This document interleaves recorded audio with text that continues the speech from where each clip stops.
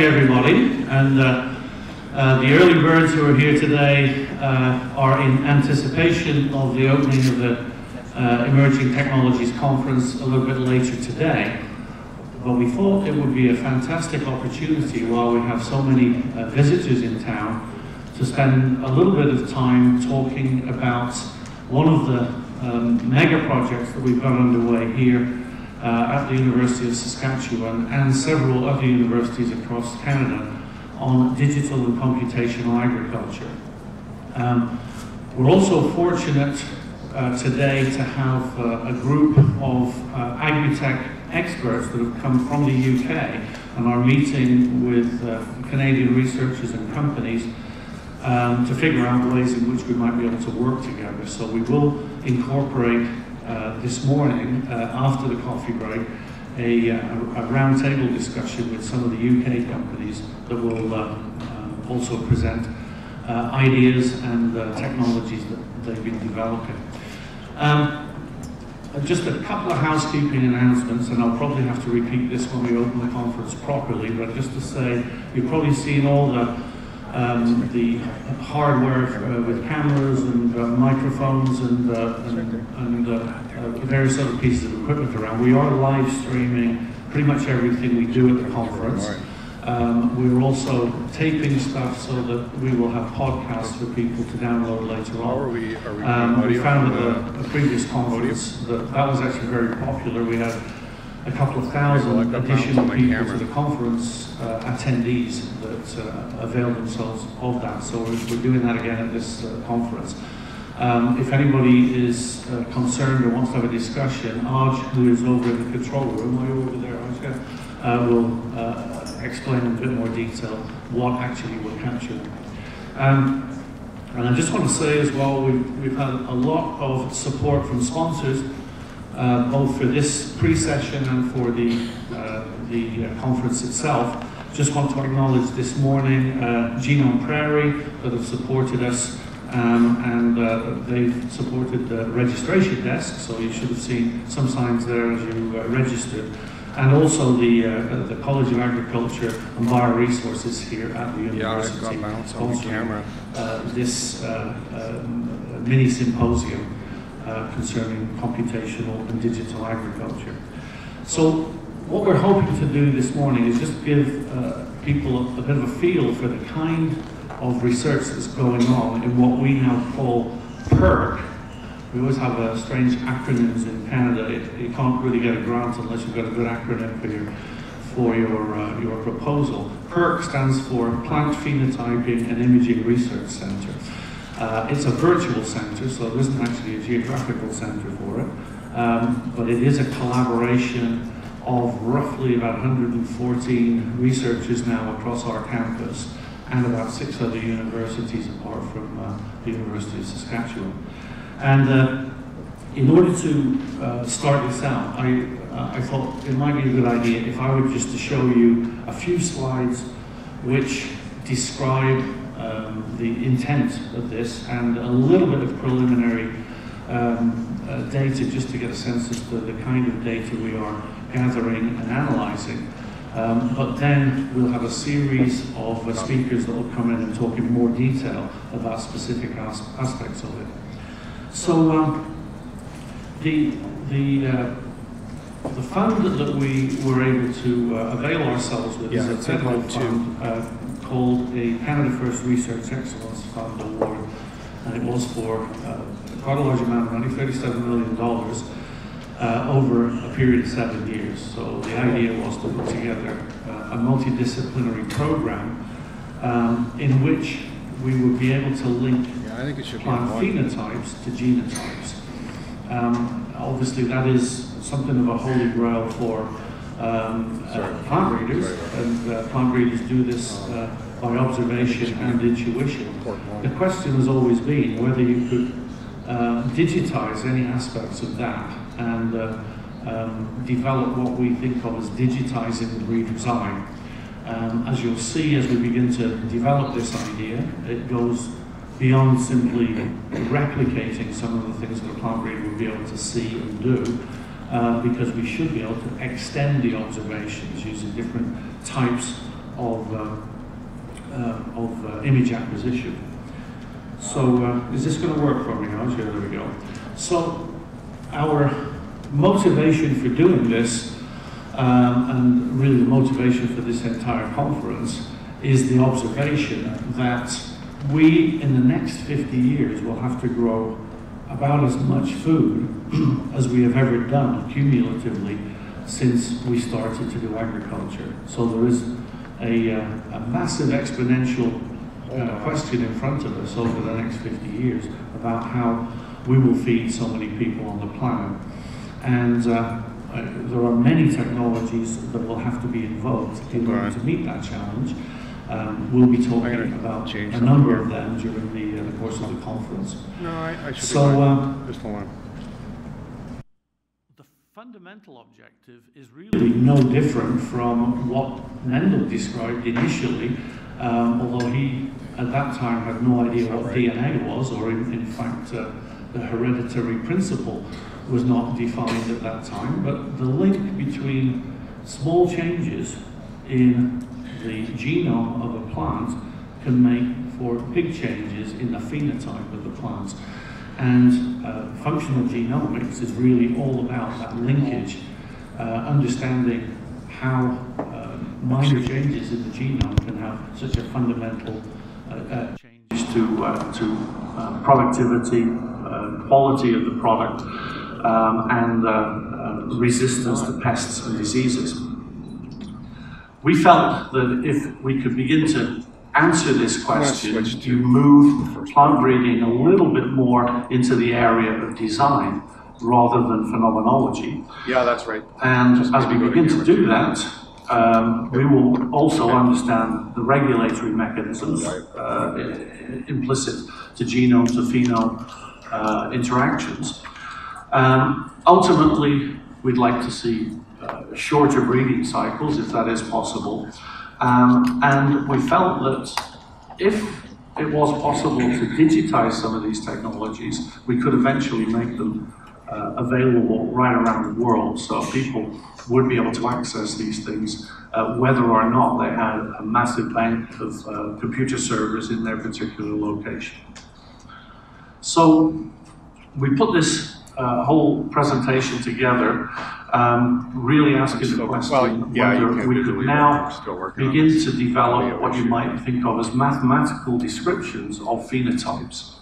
If we could go to the point of turning this into what would be widely regarded as a big data problem, then there'd be new avenues for analyzing uh, the, the results of uh, field trials and uh, breeding experiments. So, you know, in, in systems biology, we've done a very good job of turning the, the genome into essentially mathematically represented concepts. And we can search genomes very readily now. In fact, any, pretty much anybody in the world with access to a computer and uh, the internet can do quite sophisticated searches at the level of the genome. Obviously, we cannot do that uh, with uh, phenotypes at the moment. And the question is, how far would we have to go in order to make phenotypes uh, as accessible as genotypes? And so this, this whole idea of what would be a reasonable mathematical representation or a numerical representation uh, of different phenotypes and different phenotypic behaviors. I'm not getting the main one. If we could do that, then uh, we, we open up avenues that currently we don't, uh, we don't have access to. This is a way of building on the genomics revolution. Uh, genome sequencing has moved so rapidly since the year 2000 when the first plant Okay. genome was fully sequenced Oh, that copy that. um, now, pretty much all of our major crop plants are becoming well characterized, and as a result, we can we can um, work with whole genomes. In fact, we can move into an era of genomic breeding in a lot of our, our, our crops, where we're looking now at specific alleles and specific uh, uh, DNA sequences in, uh, that we will select as part of our germplasm selection program. But in order to move down this path, Clearly, we need to invoke technologies that we haven't really spent any time working on previously. And uh, part of the reason we felt um, when we applied for this uh award that the University of Saskatchewan would have uh, uh, you know, really good arguments to, to bring some of this here was the amount of imaging technology that was already being developed. And we're the home of the uh, Canadian Light Source, the synchrotron, is here on our campus. Um, we've also got a variety of other uh, infrastructure installations that involve uh, things like uh, um, positron emission tomography, imaging, um, uh, and uh, we've had you know, for, for, for, a couple of years before we even started this program, field level imaging using uh, AUVs and drones. So there was enough going on that we felt uh, we could actually bring a lot of these imaging technologies together and see if we could uh, use those as a mean, as a platform for digitizing the breeder's eye. One of the things that we got very interested in was uh, ways in which we could understand root systems better. Um, it is uh, certainly possible to grow roots in a, a, a visualizable sure. system yeah, like hydroponics or aeroponics. Um, and in fact, there are quite a few uh, horticultural plants that are grown in hydroponics already. But that is a very different thing from visualizing roots in their natural environment growing through soil. And so one of the things that we set ourselves as a goal was to see if there were ways in which we could visualize root systems in a natural environment. And this picture here is just one example. Uh, it does look like these roots are growing in hydroponics, but in fact they are in a soil and sand mix. Um, why can you see right through it? This is a photo taken using neutron beam, uh, neutron beam and uh, neutrons are pretty much uh, um, unimpeded by um, the the, uh, the the ions and the and the uh, and the elements in soil or sand. But whenever they hit upon high density blocks containing water, then they are impeded. And so what you can see here is the root systems, which are still about 94% uh, water, um, are clearly visible. So there are ways in which we may be able to visualize things that have not been studied in the kind of detail that we would need to do uh, if we we're actually going to do breeding for properties of root architecture, for example.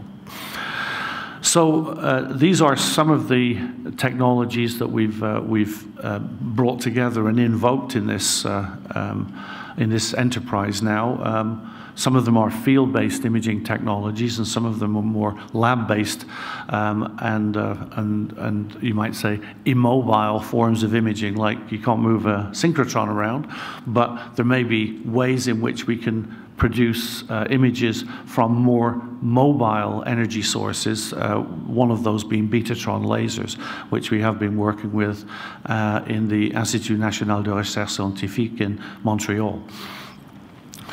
So just to give uh, a sense as to how we organized ourselves in this uh, uh, consortium, basically we have three pillars and then a couple of foundations on which everything is built.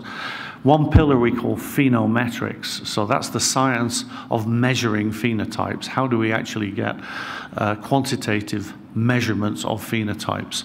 Um, and as you can see from that, there's some above ground and below ground. So uh, the plant pedological phenotypes is really looking at the root soil interface, in fact, the root soil microorganismal interface uh, as a phenotype itself. In order to do that, we need to develop a wide variety of uh, image acquisition technologies, and uh, that's in Pillar 2. Uh, this involves um, engineers, physicists, chemists, um, and plant scientists working together in order to figure out ways in which we can get much better uh, images, images that can be uh, turned into quantitative information. And then none of this works unless you have computational informatics working at a, a, very high level of both throughput and precision. And you'll hear this morning about work uh, from uh, our computer scientist colleagues about ways in which we're using uh, machine learning um, and uh, artificial intelligence in order to make sense of some of the images that we, uh, we obtain. These are built on a foundation that pervades all of these pillars uh, of crop genomics and bioinformatics, um, because ultimately we are trying to link phenotype to genotype. And we also have a group of uh, social scientists and e economists who are looking at everything from uh, public perception of new technologies in this area, uh, the interest and ability of um, breeders and other people in the, uh, in, in uh, the germplasm development system to actually use these technologies effectively, and ultimately, are they worth anything? Uh, you know, is it, is it worth the money spent on this research to actually uh, produce a benefit? So those cost-benefit analyses all need to be done. Um, this has enabled us, as I've said, to collaborate with a number of universities and institutes around the country and internationally. And uh, I think we, we have developed now something that is both multidisciplinary and working very well as multidisciplinary collaboration and multinational in the sense that we do link up with most of the major centers of plant phenotyping around the world uh, in order that uh, we don't reinvent things that are already being done, but we complement things where the, the expertise is found. So uh, um, I'm just going to move on to uh, a summary of the program, and then we're going to talk in a bit more detail about some of the specific projects.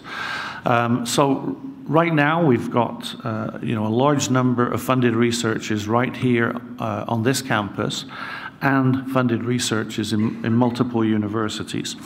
Um, we broke this down into about 12 projects initially. People self-organized and put together a project proposal which went out for international peer review.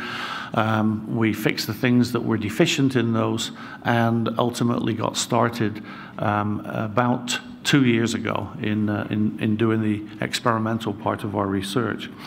Um, one of the things that we have tried to do is to bring industrial collaboration in as early as possible, and you'll see features of that today because we are actually, we've got quite a few of our industrial um, um, um, collaborators that are, that are, coming here for this meeting, and uh, we will be talking uh, about some of the uh, commercial applications, the early commercial applications of these technologies. Um, one leading indicator of the fact that we're making progress would be uh, seeing some high impact factor publications coming out of this. This is not the end goal, but it's a, we consider it a leading indicator of success, and we uh, have seen some very good publications over the last two years uh, emerging from this collaboration. And um, when you look at the authorship, you realize how multidisciplinary it really is because now some of the, uh, the author listings on these papers are engineers, plant scientists, and computer scientists, physicists, um, people who really haven't worked together that much in the past but are figuring out ways of uh, blending their uh, expertise and resources to do something uh, that's unique. So we have uh, obviously used some of the tools that you would imagine um, would be important here. So we'll, we will talk today about image acquisition at the field level, and uh, I think Steve Shirtliffe is going to talk uh, in more detail about that. So um, when when you begin to work at the field level, some of the cameras and uh, uh, that that we now use, if you're uh, you know in the region of of uh, 15 to 20 meters above ground, you can actually get down to uh, pretty much uh, individual plant level. You can uh, home in with uh, the, the, the, photos that are taken and see individual plants. Now, more often, we will be looking at block trials and doing association genetics uh, in, uh, in the earlier work, but there is that opportunity to, to work at a fairly high resolution. And I, I, won't go into these things other than to show them as illustrations. We can stitch together through thousands of individual photographs an entire um, um, field trial. This is one of Curtis Pozniak's durum uh, wheat trials. And you can home in on any of the individual blocks and look at their performance or look at characteristics that a plant breeder would be looking for, whether it's uh, um, the hue of the plant, the color of the uh, of the leaves, and the as a surrogate for photosynthesis. But you can also, um, using NDVI and using infrared imaging, you can actually look at the canopy temperature, which is a very good indication of how much water is moving through the system and is often a very good predictor uh, of ultimate yield. So, um, so there's as it were, an extended amount of information if the right uh, image acquisition tools are available. Um, so uh, I'll just move on a little bit more. This is, uh, again, a, a, more detailed look at some of the durum wheat uh, uh, trials that were done uh, um, not last growing season, but the season before. You can clearly see differences in the establishment of these stands. Um, and as you move into uh, um, closer to uh, maturity, you can see very significant differences. You can see lodging, uh, you can see a stay green phenomenon, and so on. So a lot of different features that you can pull out from these uh, these these images.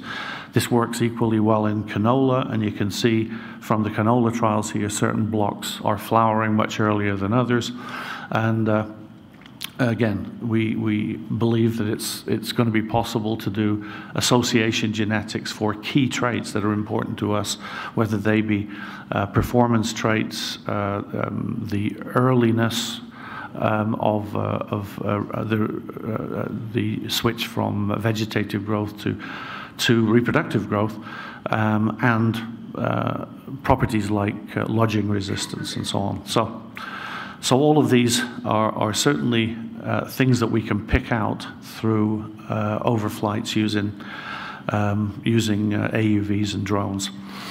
Um, this is just an example as well of uh, what we call a phenomobile, and uh, um, Scott Noble, uh, as part of this group, has actually built one. This is not uh, the one that we built. Can I just run this little video? Um, because I can't, yeah, if you could just run it.